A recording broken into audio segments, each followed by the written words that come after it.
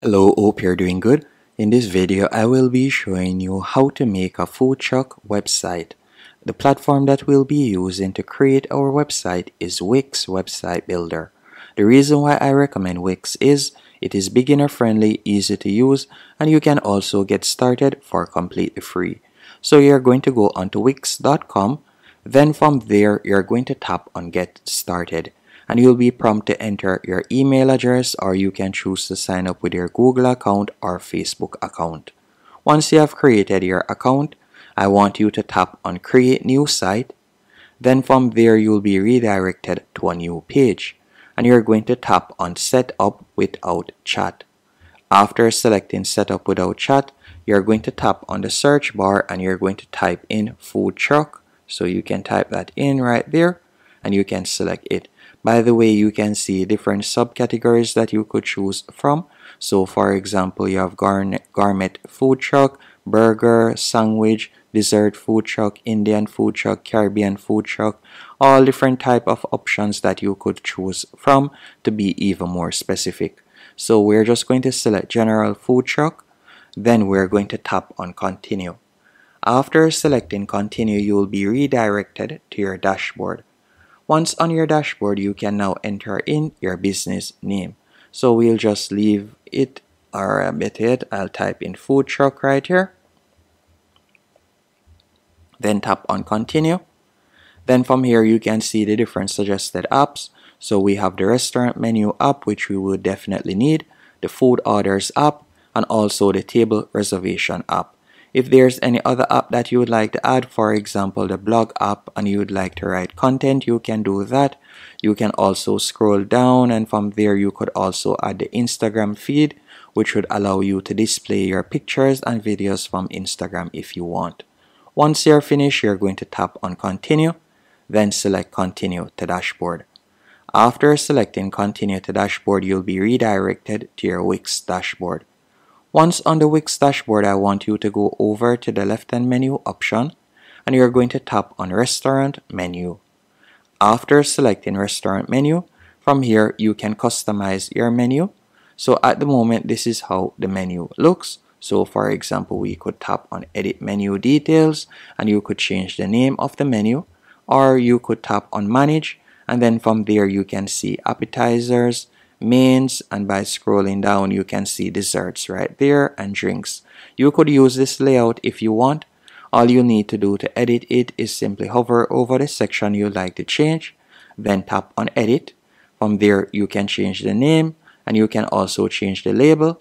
Then you could tap on modifiers and you could add a modifying group or you can tap on ordering and leave it as is. So all you'll need to change basically is just the info right there so you'll change the name and the title and also enter in your price and you could change the image right there then tap on save.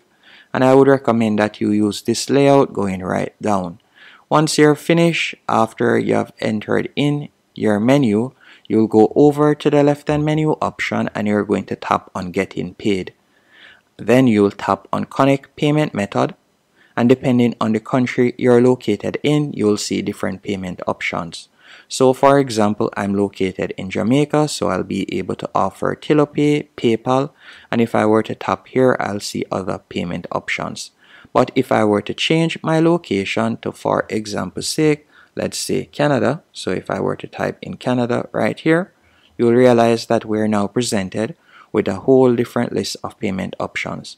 I'll be able to accept payments using Wix, the Wix platform, I can also tap on see more payment option. I can connect Square. I can also connect Afterpay, Alipay, Payful, Klarna, and so much more.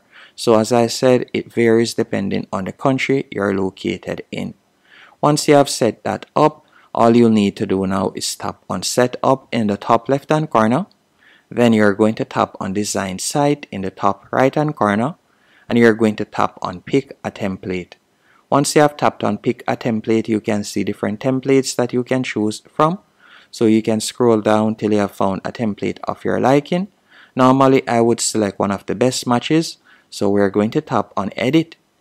Then you'll just give it a few seconds while your website is loading up. And there is also a quick disclaimer that I should tell you. Depending on the payment option that you have chosen, otherwise any other payment option from PayPal, you will need to go onto the Wix paid plan.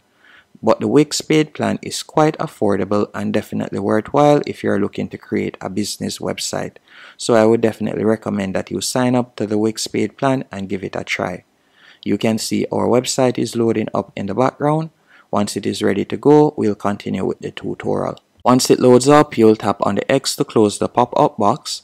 Then you're going to tap on the plus 50% in the top right hand corner. Now this is how our website looks at the moment. To make any changes, you can simply tap on quick edit in the top left hand corner. Then from there, you could change the text that is currently there. You can also tap on this section and you could change the background image by tapping on quick edit you could tap on change and you could change the image to whatever you want you can change the title and you can also change this section. Then scrolling down you could change this image. So for example if you are not planning to sell burgers you can tap on change and you could change the image to whatever you want. You can also change the current locations that are there which more than likely you're going to be changing that. And you can scroll down and continue changing each section. If, for example sake, you would like to add a text box to a particular section that you don't see one, you could go over to the top left hand corner, tap on add elements, then let's say for example we'd like to add text right there, you could drag and place the text box right there, and it's as easy as that. Once you have added the text box, you'll tap on edit text and you can type out the text that you would like to add. It's as easy as that to add an element that you don't see. Whether it is text, picture, music, anything at all, you'll find it in the top left hand corner after tapping on add elements. And to view all the pages on your website, you'll tap on home in the top left hand corner. Then from there, you can view the menu and you can see all of the different pages that are currently on your website. So for example, this is our menu page at the moment. You can see how it looks right there. Once everything is to your liking, you're going to tap on publish in the top right hand corner for your website to go live and that's it. So you can see how it would look right there. And again you can see that it creates a very professional looking website. And if you would like to offer numerous payment options I would recommend that you tap on upgrade now. And from there you'll be able to offer different price points. Hope you found this tutorial helpful and informative. If you did, be sure to hit the like button and subscribe. And thanks for watching.